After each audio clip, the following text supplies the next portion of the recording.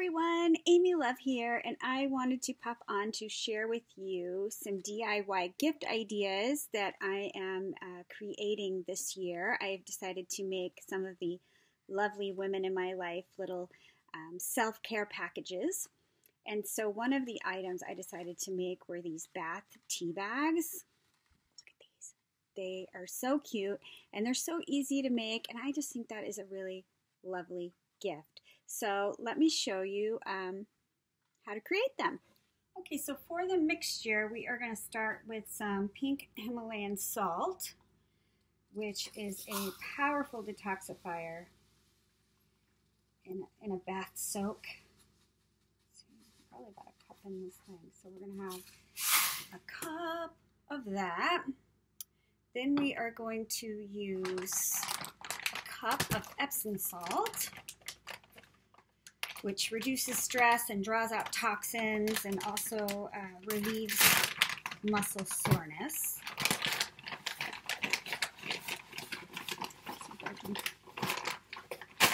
Get a cup, not as easy, not as easy as you might think. Okay. Epsom salt. I'm going to use a half a cup of baking soda which is cleansing and detoxifying.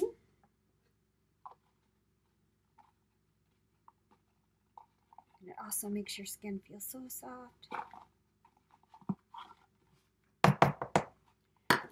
Okay, so we've got the baking soda and the Epsom salt and the pink salt. Now for mine, I am going to use um, rosebuds. Really, you can use any herbs you want. This um, can't get it in the camera. Anyway, I got this giant bag of organic uh, food grade rosebuds on Amazon, and I will have a link to um, this one that I bought below. And I am just loving, loving it. So we are going to add a cup of this. I guess you can use any herbs you want. I'm just doing rose theme for um, my gifts this year. So it was like a heaping cupful. All right. Now I am going to whisk this together to break up any of the baking soda lumps, or try to. But I'm most likely going to have to get in there with my hand. Now I like to use gloves when I do that. Now the rose petals, because they're lighter, they like to sit on top. So we just want to make sure that they get good and mixed in before we fill our tea bags. So I want to get the lumps broke up here. Mmm, look at how beautiful. How beautiful. All right, so now we are going to fill our tea bags, and I got these um, tea bags on Amazon, and I will have a link to them below. And they open at one end.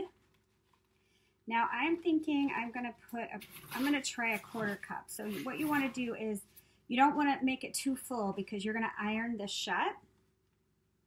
It has a, a seal at the top, so you'll iron it closed. So let me try a quarter of a cup. All right.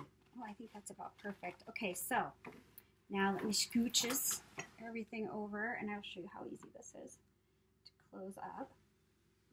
This smells so amazing, by the way, as I'm sure you can imagine. So we just make sure there's none of the, the bath tea in the way of this closure. I've got my iron set at the cotton setting, and then I am just going to seal it. Just like that. And make sure it's sealed. And it is how cute is this? And now all you got to do is pop this into a bath and soak up all the healing um, benefits, which the rose has anti inflammatory benefits and promotes feelings of peace and calm. So, love this. I can't wait to try. So, let me show you how I'm going to package it up. So, I decided to use a satin ribbon, but of course, you could use anything um, all kinds of different fibers and or seam binding would be so pretty.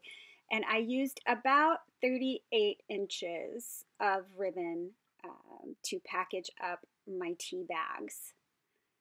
So I'm just going to tie it um, around long ways and then I'm going to turn the ribbon and kind of make it like a little a little ribbon holder to keep my little tea bags together so they won't come out in the little gift box. And I do like to slip the uh, ribbon underneath itself before I tie the bow, just so it's stuck in, in the middle of my tea bag set and the bow won't um, slide around. So now I'm just going to tie a bow and then I will stick a tag on it and it is ready for gifting.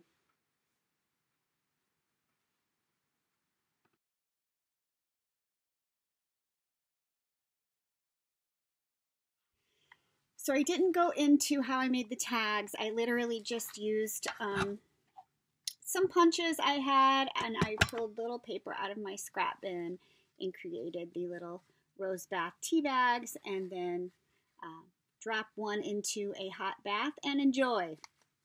So I just attached that to the ribbon with a bulb pin. And I did want to mention, because I am making a gift set um, for my mom, and my mom um, has a, has a strong reaction to a lot of different scents, and they tend to give her migraines. So I am making an unscented basket for my mom. So you could just create this exact same um, concoction and leave out the rose. And then you've got the Epsom salt and the Himalayan pink salt and the baking soda, which would be a great healing and relaxing bath tea. So I hope you enjoyed this video and please stay tuned for the other things that I'll be making to go in my basket. I'll be sharing those on future videos. I hope you're all doing well. Bye everybody.